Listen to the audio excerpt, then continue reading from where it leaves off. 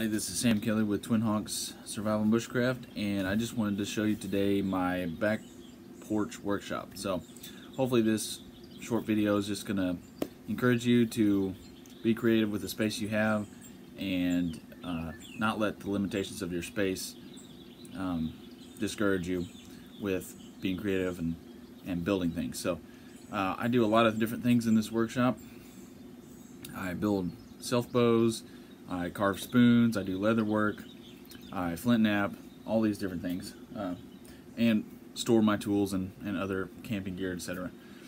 Just on my back porch here. So, gonna give you a quick walkthrough and show you a few of my tools, and hopefully inspire you to uh, keep being creative with the space that you've got. So, so first, I'm just gonna give you a view from kind of back on the other side of the porch. I really only use half of it. Uh, but anyways, you can kind of see it's a bit of a mess, but been working in it. Uh, got some bushes on that end to kind of give some privacy from, uh, there's a driveway over there in a road. Uh, this kind of gives blocks of sunlight and gives a nice environment to work in. Kind of makes it feel a little more closed in. And then screened in so keeps the bugs and stuff away. Uh, the lights up there, just some outdoor uh, light string that my wife got for me. Helps in the evenings if I'm working late on a project, gives a little extra light. Really like that. Um, plus I think they just look cool. Uh, so I'm going to move up a little closer and show you some of my uh, some of the stuff on the wall on the workbench here. Alright, so on my wall here I've got my Osprey backpack, some rope, uh, just kind of hanging up there, making use of some wall space, keeping it up out of the way. And then over here I've also got just a life jacket hanging up off the rafter. And then my coyote skin hanging on the wall there. Kind of decorative, but I also use that sometimes for picture taking or uh, doing events and stuff and laying out some of my stuff that I've made. And it just kind of keeps it up off the out of the way and keeps it clean up on the wall. And then some bow staves here mostly Osage is what I've got right now. I uh, don't have a great place to keep those except for here, so I don't keep many of them, and also just uh, they can be in the way sometimes. But I got these two bow staves as well. They're a little further along in the process.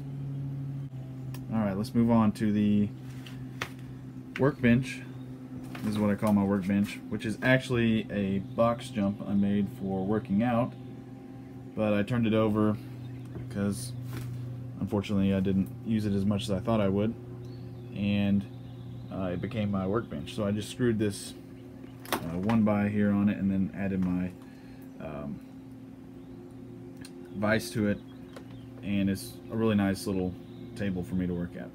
And then I just have a seat right here that I can sit at. Alright, here are some of my tools that I use mainly. I've got my rasps, um, my chisels, my uh, tool roll here with my carving knives in it, crook knives, um, draw knives over here, just a few odds and ends that I use. These are some of the things I use the most.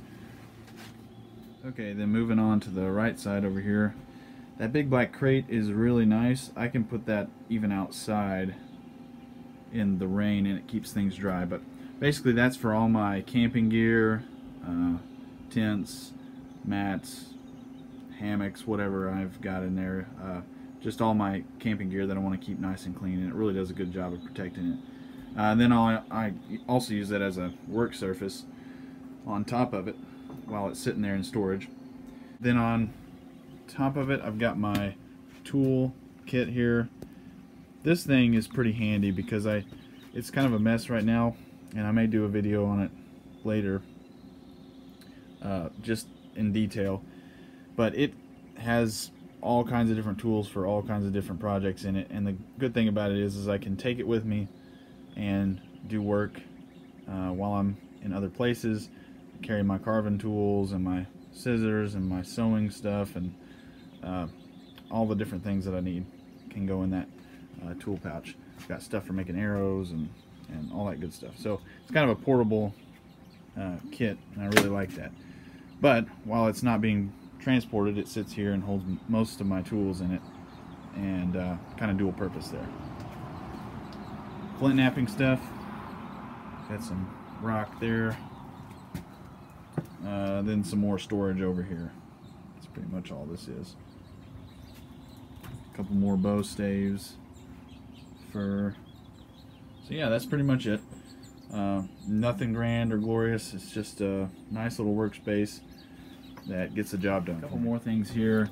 The foam mat underneath everything is really handy uh, for just protecting the floor underneath and uh, having things set on and uh, just gives a level of protection for the porch floor as well as a, a, nice soft space for me to stand on if I need need to stand on it. Uh, but this is just some foam matting, foam mat stuff that comes from Walmart and it just kind of fits together.